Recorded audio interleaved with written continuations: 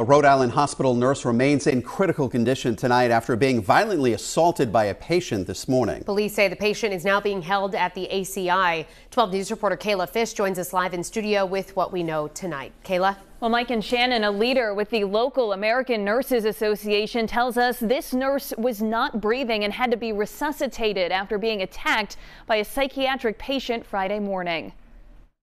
Providence police say a patient at Rhode Island Hospital is in custody after reportedly assaulting a male nurse. A spokesperson for Lifespan tells us the incident happened around 7:30 Friday morning in an inpatient unit.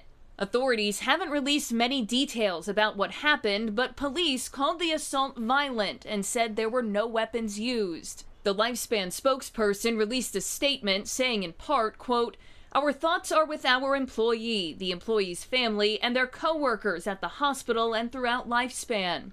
We are providing assistance and support to our employees who witnessed the traumatic event. Some I spoke to say the incident is a reminder of the risks facing healthcare workers, something local lawmakers have worked to address. A Rhode Island law that went into effect in 2022 requires every hospital to create a workplace safety committee to identify potential hazards for assaults committed against employees.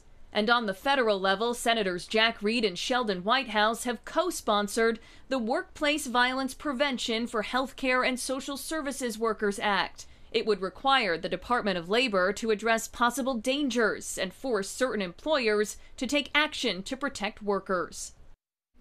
Now, authorities haven't released the names of the nurse or patient involved here, citing patient confidentiality laws.